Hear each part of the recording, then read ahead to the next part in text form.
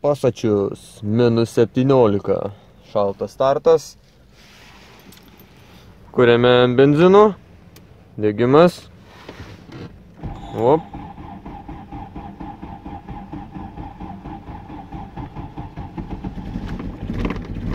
O taip mes gyvi.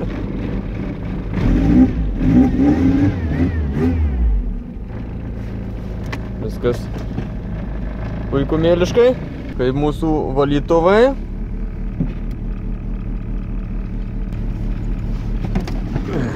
Nekaip. Slow motion mode activated.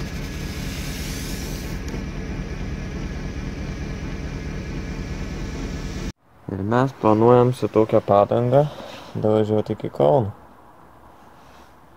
Tai gal biškai nuleiskim oro, sakyčiau. Nes man atrodo nelabai davažiuosim. Taigi planas yra laikyti apie 60 km per valandą greitį ir jau kaip girdit, galit girdėti iš mano balso, kad biškai treba. Na, taip žiauriai kaip to buvo, taip sakant, šito lūkštelio antro, bet aišku, čia yra gale, tai mažiau taip jaučiasi. Ir kitas dalykas, bet ten nebuvo taip sutrūkęs protektorius, o šičia tai jau žiauriai, tai Šiaip aš tiesą sakant, nelabai manau, kad mes davažiuosim su tą padangą, jinai turėtų sprog čia kažkur mum pakeliui. Na, bet pažiūrėkim. Ha, atsirado kartais toks įdomus klegėjimo garsas iš rankinio srities. Paklausykit. Kažkaip sukant į dešinę. Toks, sakau, fainas, mielas ausį. Gal reiktų pasilikti tą padangą. Ir kuo puikiausiai davažiavom. O dabar toks vizualesnis apžiūra patikra tos padangos. Kaip, kaip atsimenat, jinai ten buvo tokia įtrūkus, kai aš jau jas montavausi. Štai čia taip smagiai prasiplėtė. Bet čia dar nėra blogiausia, toli gražu. Einam, einam, čia tas įtrūkimas, aišku, tęsiasi, tada čia biškai nutrūksta, čia vėl tęsiasi, o tada čia linksmoji dalis. Kur, kaip sakant, jau kaip sakant, kaip sakant, kaip sakant, jau normaliai prasiplėtė. Tai prasme, šita dalis va, turi būti ties šičia. Tai čia yra tiek prasiplėtę. Čia vadratai, kaip matom, yra nutrūkę ir, tai prasme, prasiplėtę. Taip, kad šita vieta yra iššokus į viršų. Ir štai prasukus mes galim taip puikiai matyti, kad čia smagiai kilnuojasi. Toli gražu jums nerekomenduoju montuotis tokius šai padangas, Na, bet gavom mes jas už dyką, reikėjo greitai ir dabar, na, vėl reikia.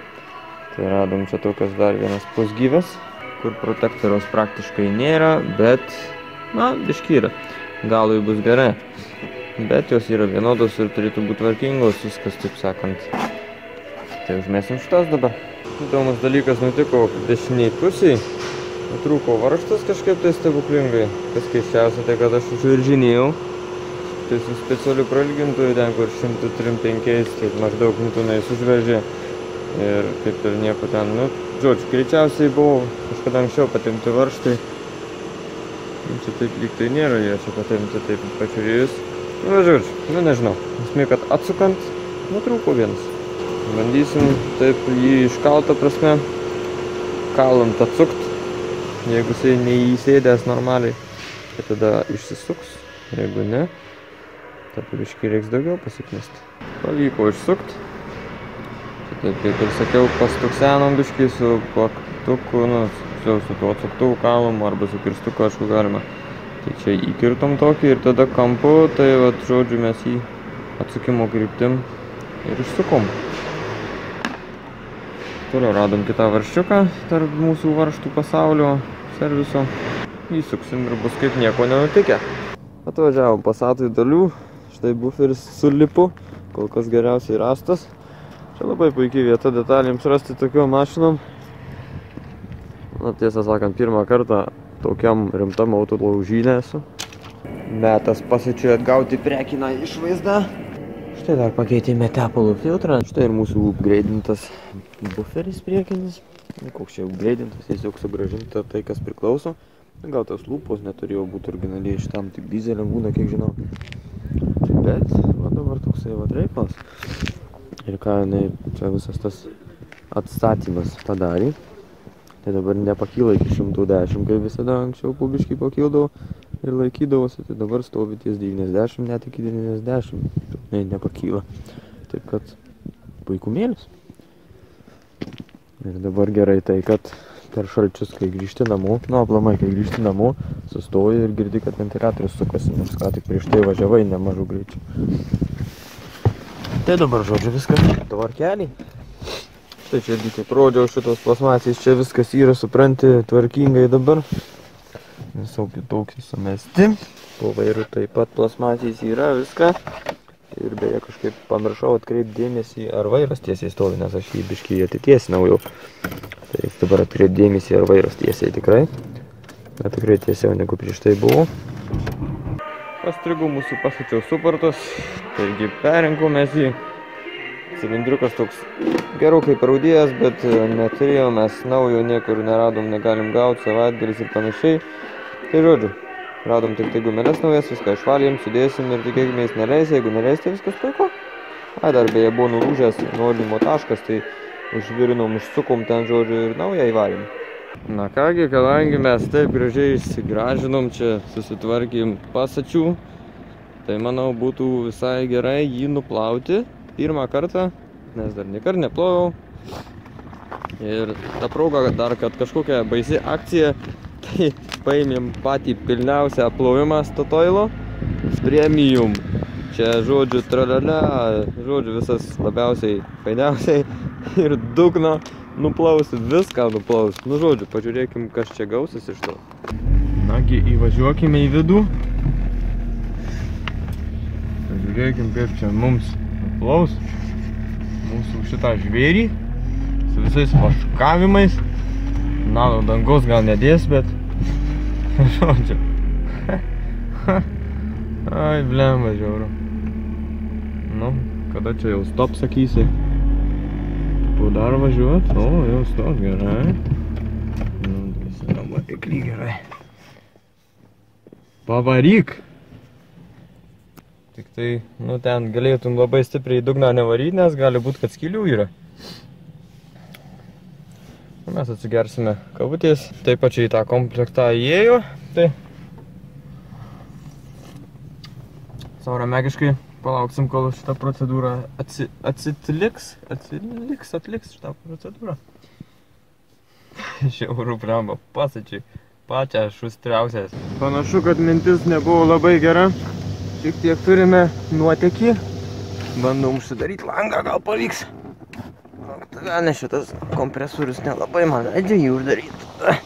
Na ką, dabar atrodo viskas tvarkoj, nuotėkis baigėsi. Toliau tęsime premium plovimą. Hmm, kaip čia fainai, čia, čia, palauk, čia tipo jau. Tik čia net šie pečiai nebuvo įsijungę, o jau nusiplovė jinai. Gerai, gal galinis langas tas labiausiai apsikakuojęs, ne visiškai nusiplovė, bet... Bet čia kaip matau dar da pabaiga, ką čia įsiojame. Žinot, kas būtų žiauriausia? Tai kad jinai neužsives. Nes nežinau, ką čia po to dugnu praliekę padarė. Bet manau, kad normaliai purkštelėjau. Tai tikiuosi neįpurškiai ten, kur nereikia, nes nelabai būtų faina gražiai nuplautą mašiną išsistumt. O tai, o čia tai duoda net, net mašina juda. Kas čia vyksta iš viso, čia srovės kažkokius. Rimtai mašina juda. Dabar aš bandau nulaikyti tiesiai telefoną.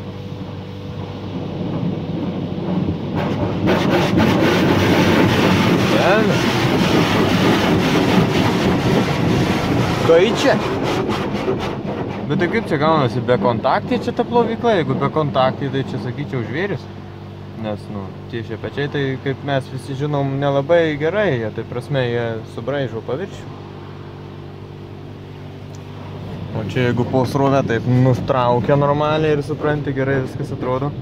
Aišku, būtų gerai, kad dar kokių arkų keurai nepravarytų ten, kur rūdys yra. Nors čia tų rūdžių nėra labai baisiai. Jo, čia tų etapų tai normaliai, sakyčiau, pakankamai tai. Jūs tik pažiūrėkit, koks švarus stiklas. Atrodo, kaip čia nebūtų stiklo. Čia taip švaru nebuvo dar nuo 1991, kai buvo pagamintas jis, ar jisai antrų, ar, nu, kažkas toks. Dūminį užsklanda. Taip, taip, dabar galite ratus numontuoti viską, gaila, kad nieko gero ten nėra. Tai. Jau dabar tai aš matau atsisukantį volelį. Vienas. Dar vienas įsijungia čia. Prasineš dabar gerai. Ring, ding, ding, ding, ding, ding, ding, ding, ding, ding, ding. O, tai valytuvai. Nenuplėškit valytuvų, man jų kartais reikia.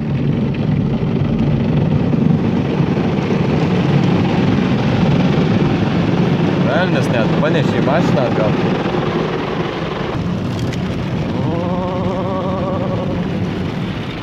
Beje, tie šepečiai labai kažkokie įdomus, čia tokios kaip gumus tampusi atrodo. O, tu velnis. Reiks paskaitytis viskas į šitą programą įeina pačias šustriausia, nes žinau, kad vaškavimas, žinau, kad atmarkinimas ir žinau, kad dugno plovimas. A, Dun, dun, dun, dun, dun, dun, dun, dun, dun, dun. Pažiūrėkit, kokios gražios gumelės.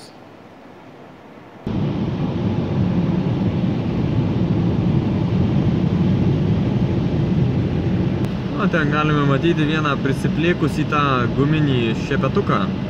Ne vieną, tiksliau kelis. Atplyšo ir prisiplėkė.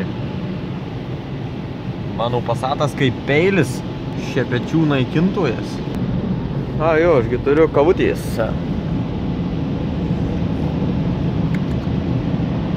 A, jau viskas. Važiuojam tada. A, mes gyvi. Šiek tiek garų. Aišku, nuo išmetimo kokio. Važiuojam, kol dar neužgesom. Gražuolis. Tu tik pažiūrėk, aš dar jau tokio gražaus nematęs, supranti?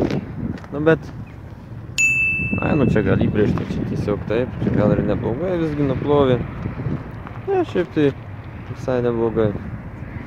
Na gal čia šiek tiek išpūtė šiukšlių iš krašto, kur neišplovė, kai džiovino. O, štai žiūrėkit, palikimas, šepetukos. Nukando, sakau, kad jisai naikintojas yra. Nemėgstis tų šepečių, kaip supratau. Na, čia nelabai pavyko, na čia spėjo nuplovė, viskas buvo normaliai, bet kai pūtė ten džiovino, tai, o, žiūrėkit, gerai laikosi šitas draugelių mano užrašytas užrašiukas. Nežinau, kodėl aš jį nenulupau, bet, žodžiu, čia šiaip istorija tokia, kad skylės buvo. Čia va štai matosi tas kažkokia skylė. Tai sumastė užkliuot lipduką, čia Ale gerą darbą padarė ir dar parašė mėgstu BMW E3. Nu, čia, aišku, yra tiesa, bet nežinau. Per daug mane šiandien glumina, tai tiesiog taip ir palikęs. Spindi kaip niekad mūsų pasačius. Reiks dar saloną šiek tiek pravalyti, pasirpt. Įtuomiai taip, mm, nežinau net kodėl čia taip net plovė, čia matyti jau atmarkinimas nepadeda tokiem dalykam. Na, bet čia visumoje viskas čia normaliai.